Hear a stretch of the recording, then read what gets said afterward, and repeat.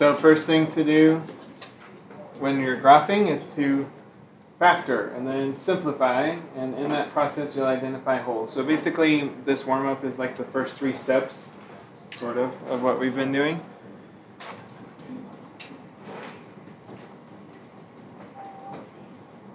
And then don't forget to factor further. Like I can pull out a GCF of x here, but um, can we factor the, the rest of it further? Yeah, we can keep going. So x plus 1 on the top squared, and then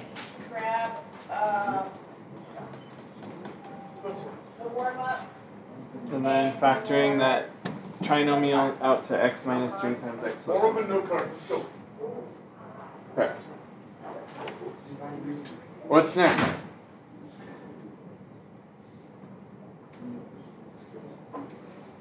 Well, I see a common or what we call the duplicate factor of x plus 1. Can you cancel all three of them? What can you cancel? Two. Just 2, yeah. Which, that means our simplified form is x plus 1 over x times x minus 3. Okay? But in terms of graphing, what is the x plus 1 over here? What is that called? The fact that we can cancel that factor out gives us what? A hole. Okay, there's a hole at what? x equals, yeah, so hole at negative 1 is the x coordinate. It's the 0 of the factor that we canceled off. But I'm requiring that you give me the y coordinate as well. How do you get it? You have to plug this negative 1 into this simplified version. If you plug it back, if you plug negative 1 back into the original, you're going to get 0 over 0, which is what? Undefined. It tells you nothing. So don't plug it back into the original because it's not helpful. So plugging it back into the simplified one, we get negative 1 plus 1, so we get 0 instead of undefined. Okay, so our hole is at negative 1, 0. All right, what are the vertical asymptotes?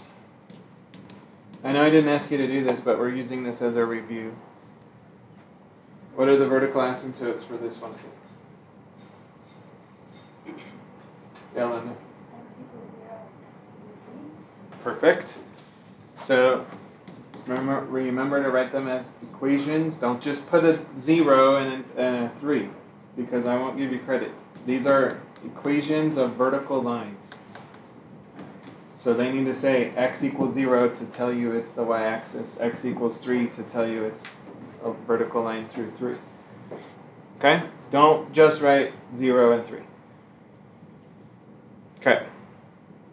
What case is this in terms of horizontal asymptotes? What case is it?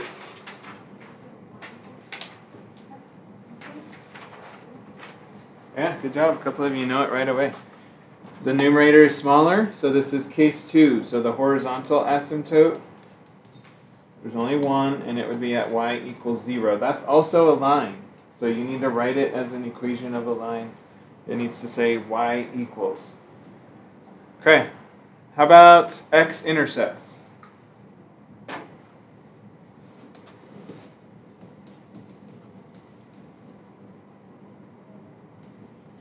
What do you do to find x-intercepts?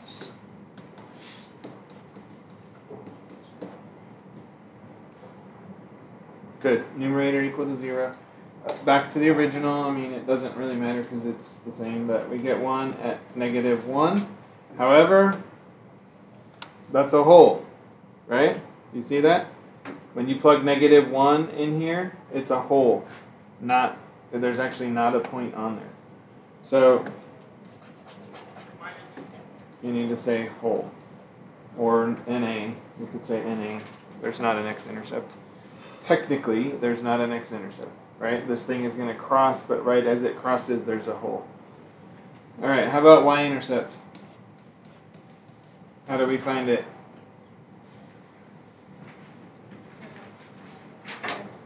all x's to 0. 0, 0, 0, 0, 0. Uh-oh.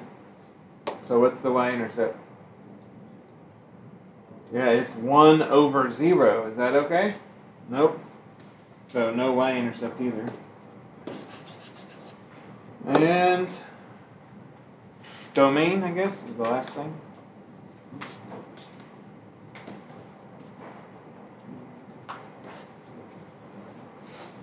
What do we have to exclude from our domain? Remember, we're saying everything is fine. That's the first x. Except x can't be what? Well, it's everything that makes the denominator zero, ever, in the problem. Which is what? Well, 0, 3, negative 1. Try to write them in order. I'm not gonna I'm not gonna take points off if you don't. I will take points off if you don't get all of them. Okay? Alright, well if we went to graph this one, are we graphing the original or are we graphing the simplified? Technically, it's the simplified version, okay? Uh, but we have all these pieces here that we're going to use to do that. So let's go ahead and review graphing real quick.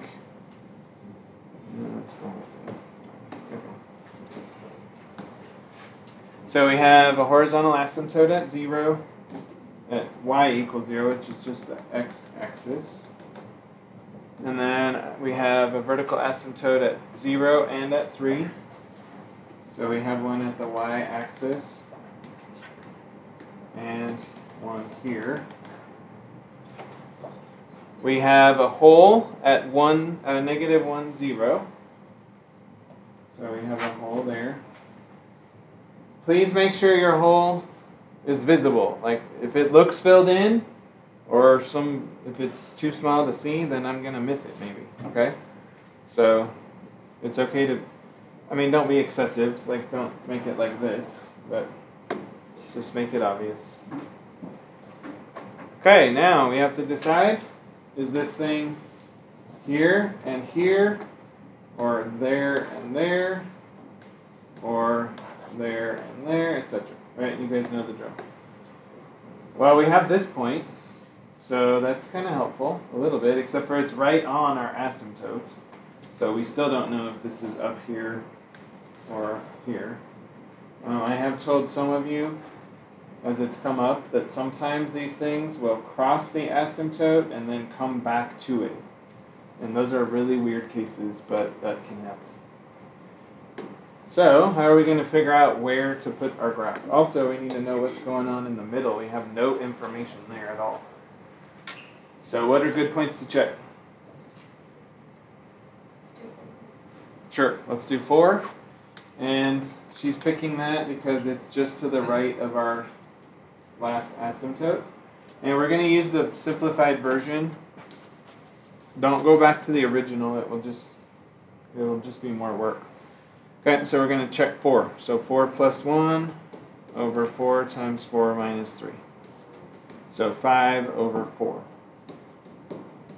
That's 1 and a fourth. So somewhere here somewhere like that, right? Is that enough? That's enough for me. I'll probably plot that right here. Okay? Where else should we check?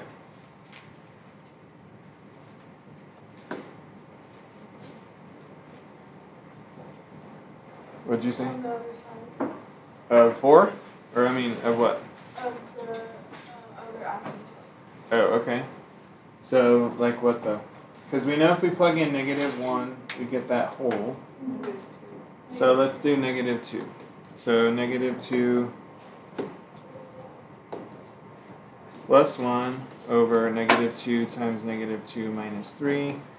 So that's negative, sorry, negative 1. And then that's 10. So negative 1 tenth.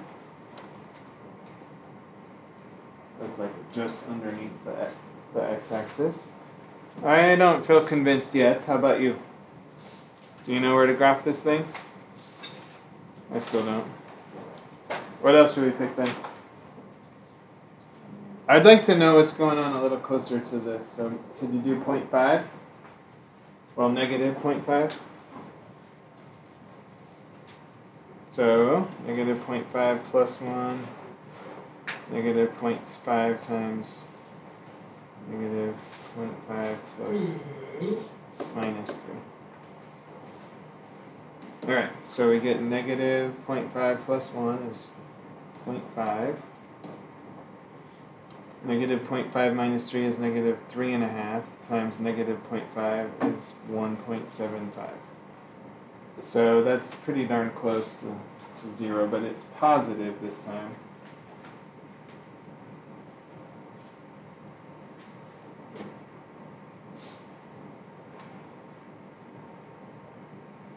So I'm one, I'm thinking this might be the kind that comes it crosses and comes um, back to it. This is my guess. So maybe something like this. I don't know. This is kind of a frustrating one. Let's do negative 10 just just because I don't want to take too much time to do this, but So negative 9, and this is negative 13 times, so this is 130. So that's really darn close to 0. So when we're getting out here, we're coming really close to our asymptote.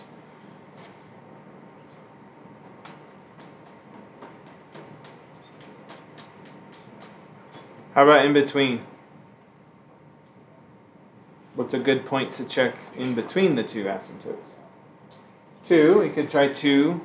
So 2 plus 1 over 2 times 2 minus 3. Negative 1 times 2. So that's negative 1 and a half. Okay, that was helpful. Let's try negative 1. That's 0. Hmm. What is that looking like in the middle? Yeah, I'm wondering if it's maybe this style. So if we're thinking maybe that, what could we do to fix it or to check it? Really, I need one more point to know, right? Maybe like two and a half, right?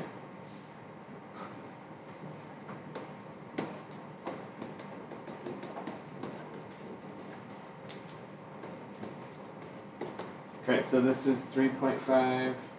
And then this is, I'm sorry, this is kind of messy.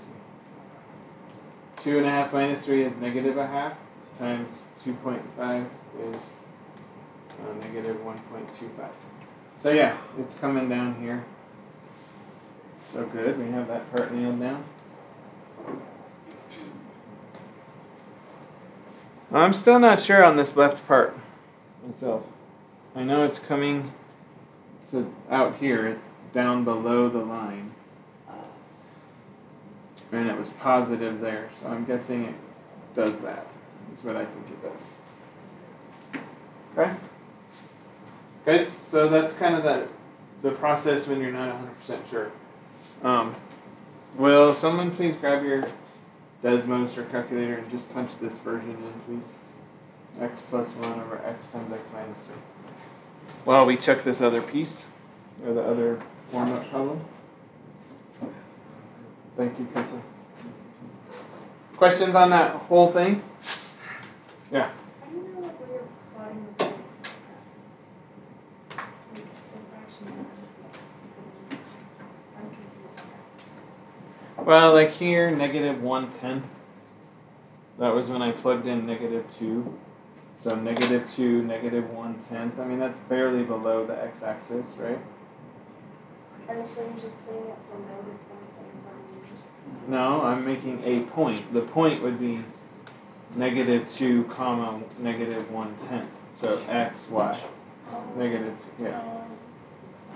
So for all of these, I just took the like two, three halves, right? So over two, down three halves.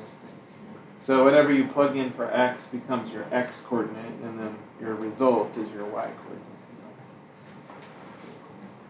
Did we get it? That was really weird. Oh. And does not look the same. Oh, well, never mind then. We should have kept checking points. That's kind of fun to have a weird one. Cooper, will you tell me what to type in here just so everybody can see it? Um, X plus X plus one.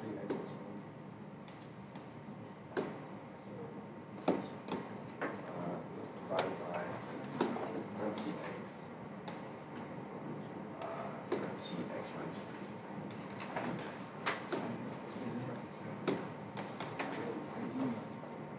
Yeah.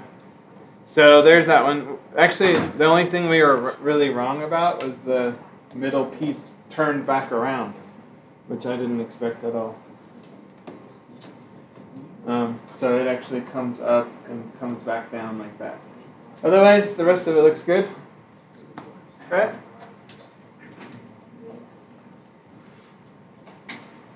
All right, second one. This time we'll just do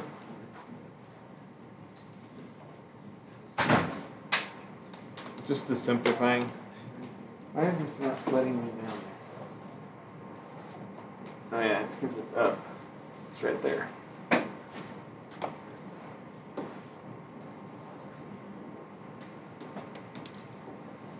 Really, this is just a factoring and holes check. One thing I would like to do on this is review uh, long division for those of you who need that.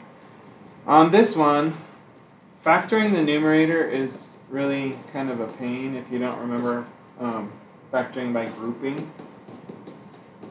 The denominator is fine, x minus 4, x plus 4, excuse me, times x minus 1. So it's okay. Factoring by grouping, we try to pull, we separated it into the two pieces, like the two halves of this cubic, and then we pull out a common, uh, pull out a GCF in a way that leaves a common factor. So here's what we'll do on this numerator. We'll pull out x squared, and then we'll get left over x plus 4. So we need to factor out a GCF out of this second one in a way that makes it x plus 4. So do you see how if we pull out a negative 1, we'll get x plus 4 left over? Right? Everybody following? Okay, so these are the two factors. Like this really needs a parenthesis around the whole thing uh, group one and group two. And I'm going to put a dot there. What you do from here is pull down the x squared and the minus 1 and make a new group of those. Because those are both multiplied by x plus 4.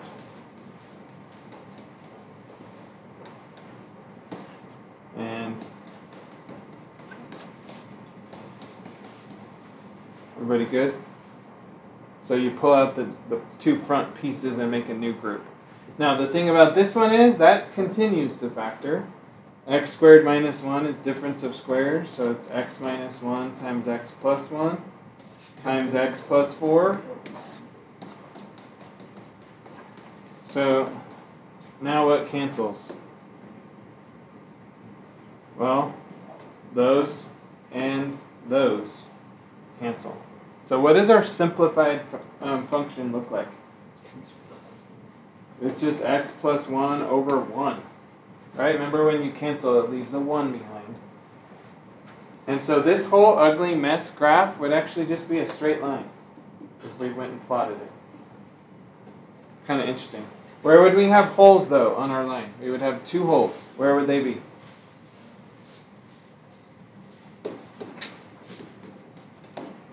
Where would they be? Negative 4 and positive 1. What did I say about finding that the y coordinates of those holes? Where what would the y coordinate of this first hole, negative 4, be? Where do you plug it? Simplified form, which is just this one. What's negative 4 plus 1?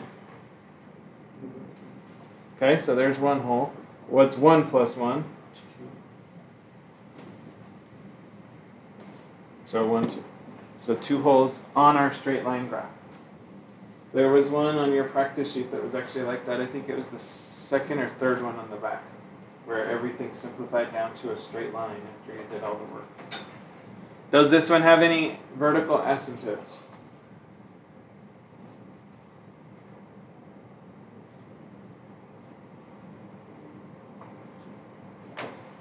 No? We just canceled both denominators, right? So there are no vertical asymptotes, they're both holes. You can't be both. In other words, like this x plus 4 cannot be a vertical asymptote and a hole. It's either or. So if it cancels off, it's a vertical asymptote, or it's a hole. Guys, I feel like I'm asking you questions that at this point you should be pretty um, familiar with, especially like if you've been reading this much. It says under vertical asymptotes, step four, at the zeros of what? Leftover zeros, or factors, excuse me, in the denominator. So if I have no leftovers, do I have any vertical asymptotes? No. Okay? Remember we wrote notes specifically on finding holes also. So the y coordinate, plug the x's back into the what? Simplified function. It's all there. You just got to read it enough to know that it's there. Okay. I think what we'll do instead. Um,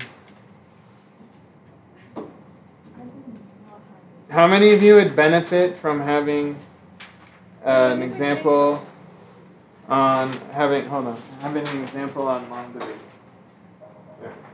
So maybe I'll do that on one of the ones on the back of your homework. Yeah, we took them. I don't know. Did we not take whole notes for you guys? Well, let's write them down.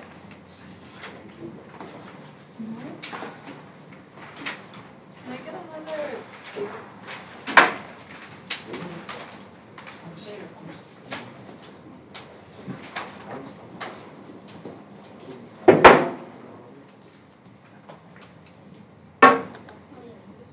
It's under there, yeah.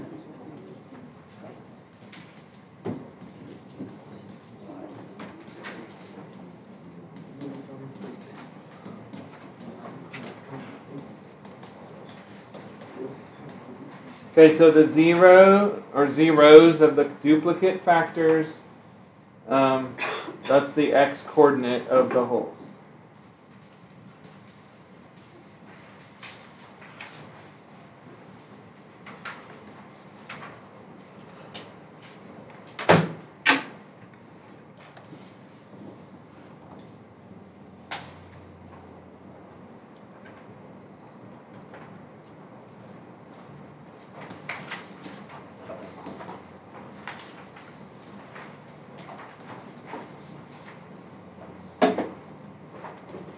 To find the y coordinate.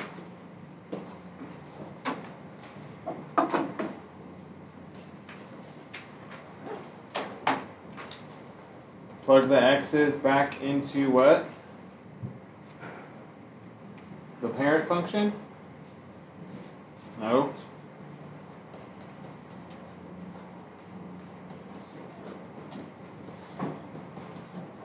Back into the simplified function.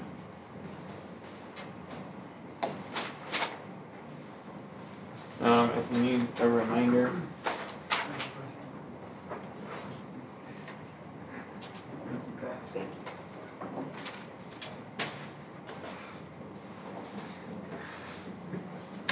That's with duplicate factors canceled, right? That's the simplified one is the duplicates are canceled off. And then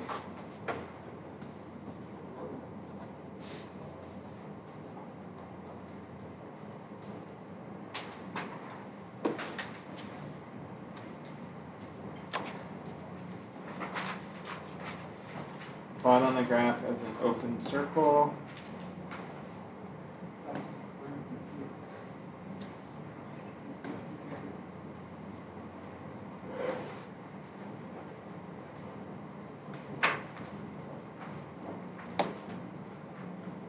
And you can just sketch yourself a little something to remind you that.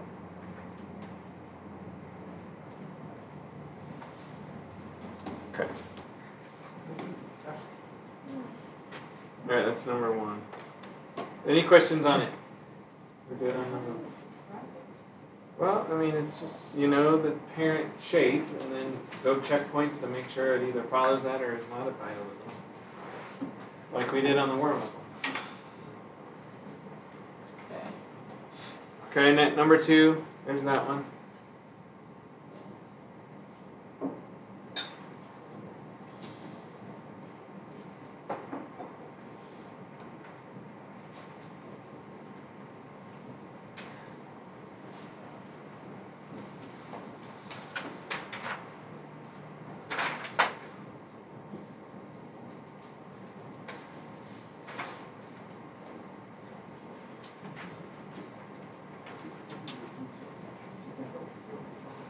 Any questions on that one? Okay, number three. Had a diagonal asymptote or a slant oblique. How are you doing with those kind? With the kind where the long division to get a slant asymptote.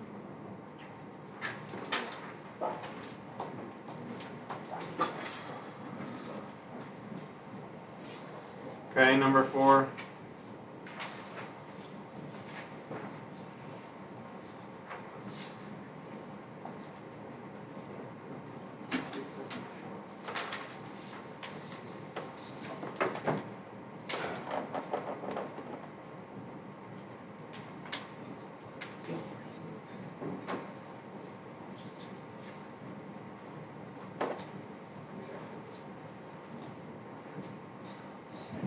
Number five.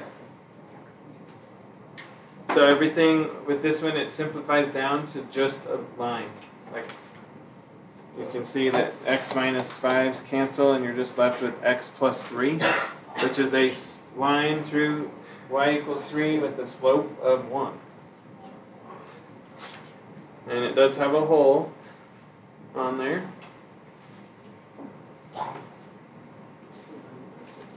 Notice that this is the same as your sl- your slant asymptote is the same. Okay, last one.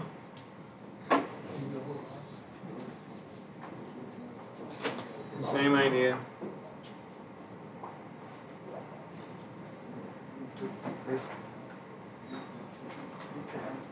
How'd this go for you? If this was your quiz, what would you have gotten out of it? 10. How about hold it up 0 to 10? Remember, you need to be at a 6 out of 10 or higher to be able to consider that passing.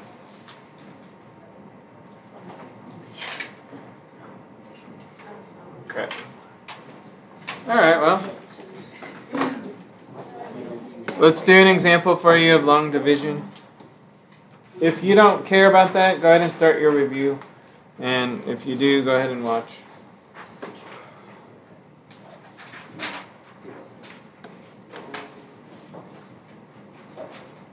Remember that if you're missing terms in long division, you need to go fill them in as 0x. In this case, we're not, so that's kind of nice.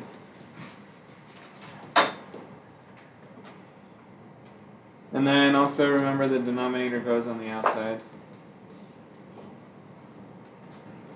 It is also not missing any terms. So all is well to start. And then we start asking how many times does x squared go into x cubed? And you can do things like write it off to the side as a fraction. Well, how many times does x squared go into x cubed? 1x time, right? So put an x above this. Whenever you put it on top, write it above the same degree. So our answer here is just x, so I'm writing it above the first degree term. Okay, now we go multiply all this stuff by x. By whatever you wrote on top, go multiply everything by that. So we get x cubed, and then plus 3x squared minus 4x. Now what? Yep, now we subtract. We get 0 on the first one. If you do it correctly, that's what you should get. And then 4 minus 3 is just x squared.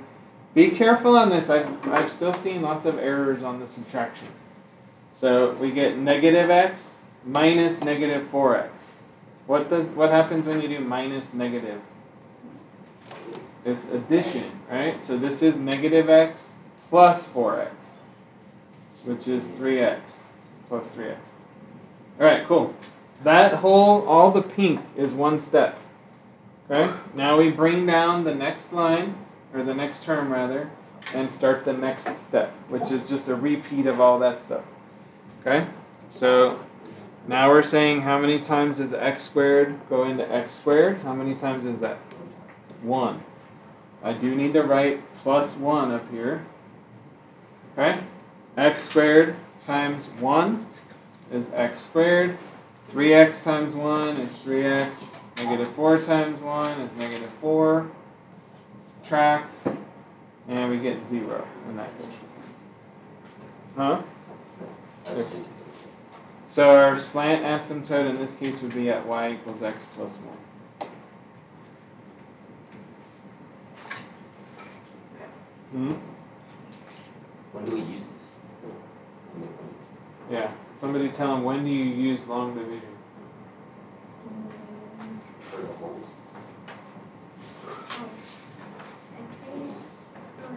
Case 3 to find your slant asymptote. What is case 3?